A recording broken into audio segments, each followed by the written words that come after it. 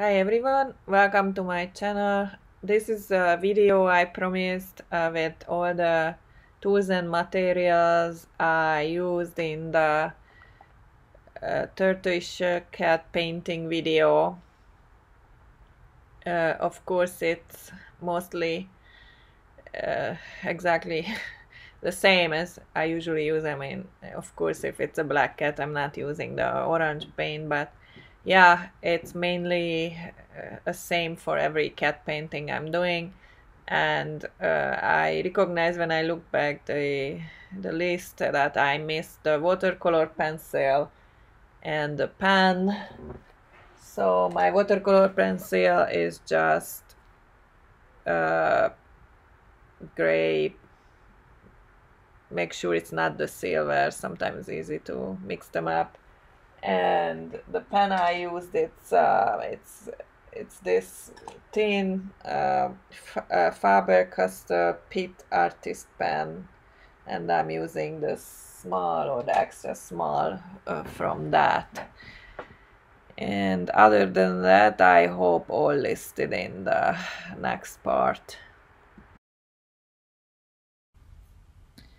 So hi, this is Bodorka and in this video I will show you all the all the tools and and things I used um, and material I used in the tortoise video. Um, so let's start with the paper. Um, I used uh, Arches watercolor block uh, which is look like this. So that's not the size I used, but it's exactly the same type of paper I used in the video 18 by 24 inches paper. This is smaller, but it's the same paper. It's the 300 gram um, uh, cold press. So the settings, um, I'm, I'm working on a desk and front of me, uh, about a, a meter afar there is my comp my comp my laptop with the photo i'm painting. And on a desk i put this kind of cheap uh, i don't know what kind of paper it is. You can buy thousands in a box for very cheap because the wet watercolor paper pick up structure from the desk and anything. So i really like to put a 510 at least below. Uh, it's also good to soak up excess water. So i put a lot of paper under my my uh, my uh, painting.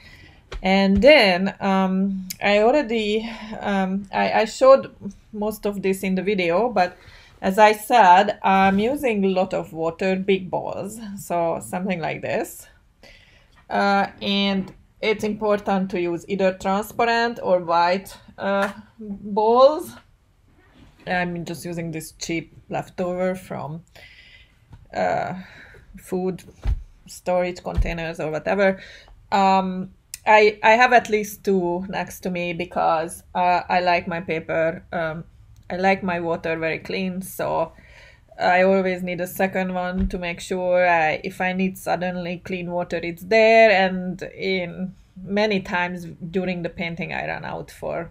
So as soon as the first water is dirty, uh, when I have a little time, there's nothing urgent, I just run for clean water. So make sure I always have one extra uh, brushes. So I used this big brush for the wetting the paper and also in some modification uh, during the painting. I don't even know what type of brush is it. It it was something cheap in the art store. I usually go Blick. I mean, usually I go online Blick.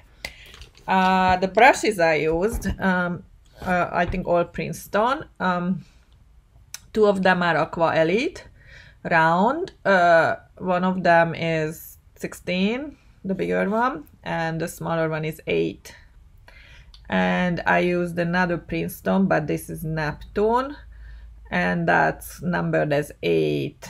It's, it's a different type of brush. This is fluffy, hold a lot of water, and this one is more precise. It has a more springy uh, uh, tip, so you it's really good for like drawing precise, more precise thing. And this is good to put big flowy watercolor um, areas on the paper. in this painting, I used only two paint. Uh, the brand is not even that important. I use artist quality watercolor all the time. So, but there are many good brand, uh, uh, many good brands. So the the orange color was uh, Horadam, uh, transparent orange, and the black I always use for cats lamp black. The brand again not that important. I really like Daniel Smith, so it was uh, lamp black from Daniel Smith for removing uh, like the paper towel or whatever I use, uh, it's Kimwipe, like this. And this is how a sheet look like. For me, this is very important. I wouldn't change. So I would keep this. This I'm really happy with the result. It's not falling apart. It's not breaking. It's not leave tiny uh, fibers on your paper. So I really recommend that. Uh, for the masking fluid, I use this one. Um, it changed few years ago. Uh, I I don't know. I I don't know which one I liked more. Um, when it changed, I had to adjust, but I'm fine with both now um, the previous one, and I don't know this one because it's kind of newer, so I, I, started use not too long ago. The previous one, if you didn't remove entirely from your, from your painting, after a time left very ugly yellow, yellow. It it it turned yellow, or I don't know, like it it it it wasn't nice. So uh, it's better if you really make sure you remove after your painting ready all of them and uh, because I don't know how this will behave, but otherwise I really like this. It's really come off really nice. It's it's a good product, I think. Uh, just um, yeah, make sure you remove and make sure before you paint it's entirely entirely dry. Otherwise, you just destroy your brush because it will stick into your brush. Um, what I use uh, to apply this is this reed stick I I don't know how it's called honestly. It's the Asian uh, use this I think originally to apply ink, and I you can buy this in art stores also. But I think almost any kind of stick where it's a little pointy edge can work. It's not that pointy; it break the paper, but it's kind of pointy. And after you use you you have to wait until it's dry and remove and then use again because otherwise it just build up and it's useless to make thin lines after a while. So you just need to clean it before you use it for sure. Remove the i have like 10 of them so i always have some clean around me and i remove the before i use i make sure i remove the old dry uh, masking fluid from it so for the painting, I use little dishes like this. And this is the lamp black. I don't want to like it because it's wet. I because it's tube paint and I I don't think I can use. I mean, that's what I like. I don't like the the half pens. My brush not even fitting in the half pens or the pens. So I I like the tube. So I put out some paint. Maybe I don't know, like this long. you just put out and add water to make the paint like flowy, creamy, like a little bit flowier than honey, but not don't dilute too much, like crazily. Just um, yeah, um, and it's good to before you start to dilute up, but it's not necessary.